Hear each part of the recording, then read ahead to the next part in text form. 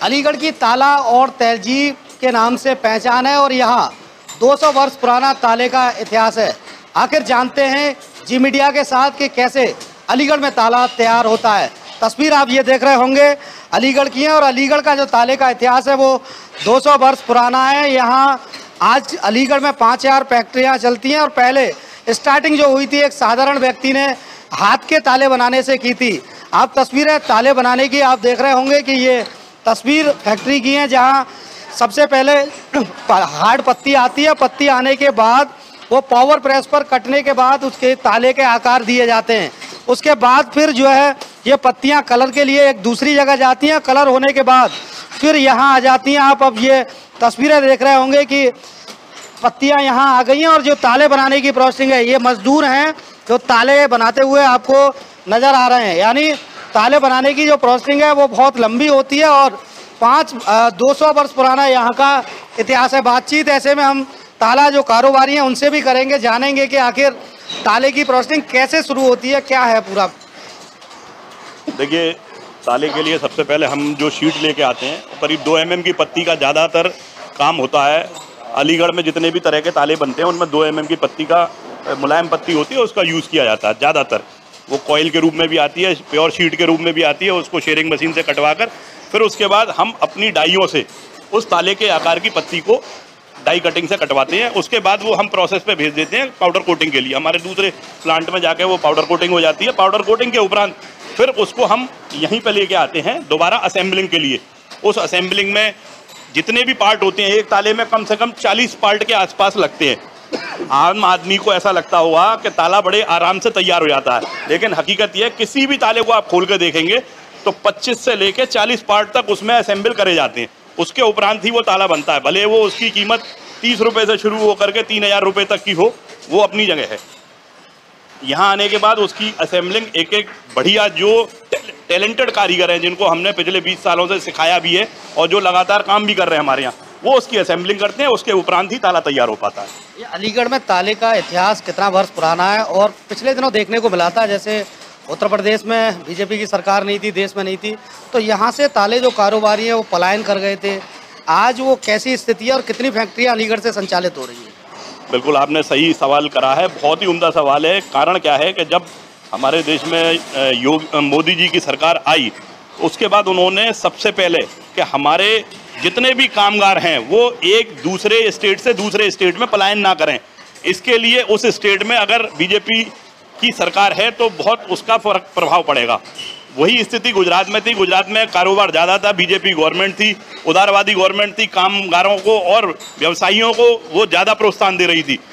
इसी संदर्भ में जब हमारे पास योगी गवर्नमेंट आई, हमारे उत्तर प्रदेश में योगी सरकार आई, उन्होंने लगातार पिछले दो टर्म से ये दूसरा चल रहा है। इन्वेस्टर समिट लगातार जारी रखी हुई है, विदेशों से पैसा लेके आ रहे हैं, साथ ही साथ वो ये भी कर रहे हैं कि जो हमारे उत्तर प्रदेश की जनसंख्या हमारी जो लेबर है, कामगार है, वो किसी दूसरे प्रदेश में ना जाए। उसके लिए उन्होंने हम लोगों को इतनी सुविधाएँ दी हैं कि आपको किसी भी प्रकार का बैंक से लोन, किसी भी प्रकार की फैक्ट्री चलाने के लिए कोई भी आपको आसानी से सारी सुविधाएँ मिल जाएँगी और हम लोग कार्य भी कर रहे हैं उसी हिसाब से। और रही बात इतिहास की 200 साल पुराना इतिहास है ब्रिटिश काल से ही हमारे यहाँ अलीगढ़ में ताले बनते रहे हैं। पहले हाथ के बने हुए तालों का बहुत ज़ोर था। ज़रूरत कम थी, इसीलिए हाथ के बने हुए ताले आसानी से उपलब्ध हो जाते थे। अब क्योंकि जनसंख्या इतनी बढ़ गई है, घर बन गए, फ्लैट बन रहे हैं, लगातार बन रहे हैं, उसके लिए ज़रूरतें बहुत ज़्यादा हैं। उन ज़रूरतों को पूरी करने के लिए धीरे धीरे करके लोग जो है मशीनरी बेस पर आगे बढ़ते चले जा रहे हैं। उसी में अलीगढ़ में नंबर वन होती जा रही है अलीगढ़ इंडस्ट्री भी। जिसने चाइना की इंडस्ट्री को लगातार पीछे धकेल दिया है और जो लोग हमारे कामगार थे यूपी के बाहर जा रहे थे, वो भी वापस अलीगढ़ आकर हमारी फैक्ट्रियों में, हमारे साथ कंधे से कंधा मिला काम कर रहे हैं। तो आपने देखा ये ताले बनाने की एक प्रोसेसिंग थी, यानी जो ताला है, उसमें कई सारे लोग मजदूर अपना हाथ का प्रयोग करते हैं, उसके बाद ताला तैयार होता है और यहाँ से ताला विदेशों में भी सप्लाई किया जाता है। अलीगढ़ से जी मीडिया के लिए, प्रमोद कुमार।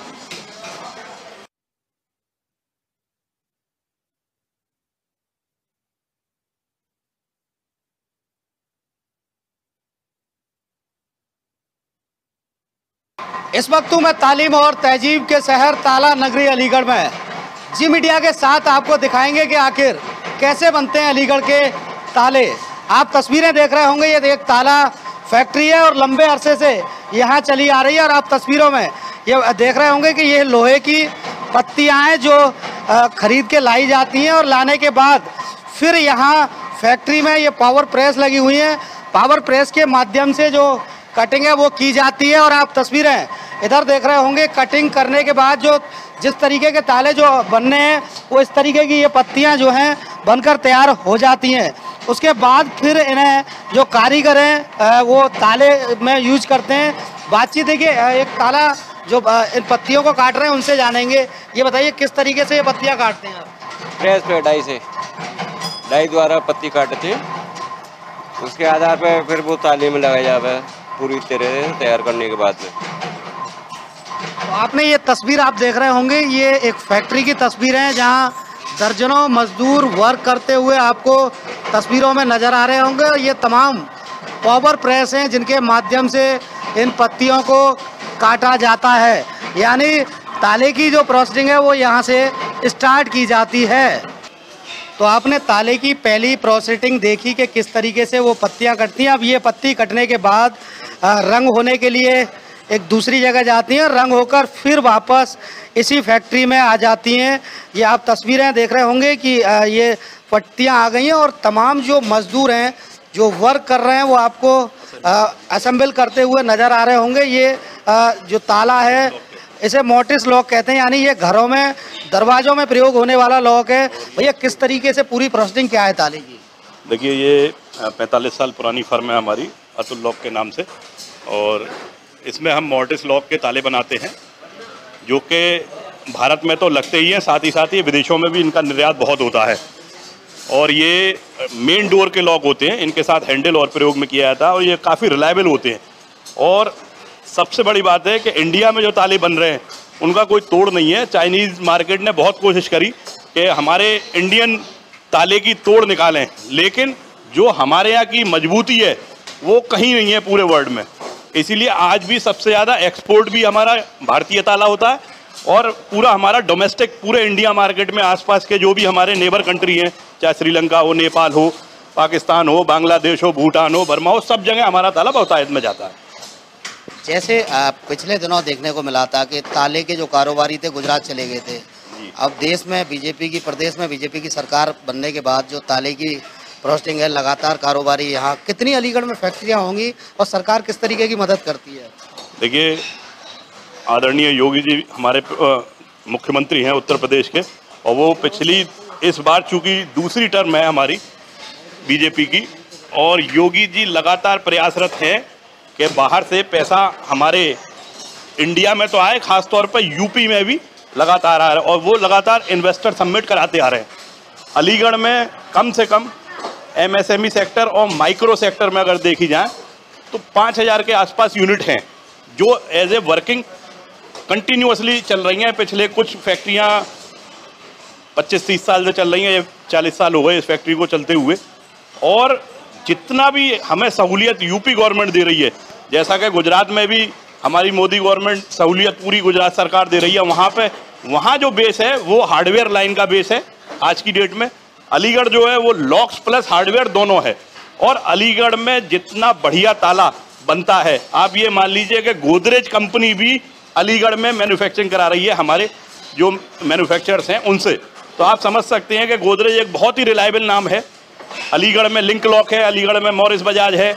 हमारी अतुल लॉक कंपनी भी बहुत फ़ेमस है, फाइटर के नाम से कंटिन्यूसली ताले बना रही है और लोगों को प्रोवाइड कर रही है।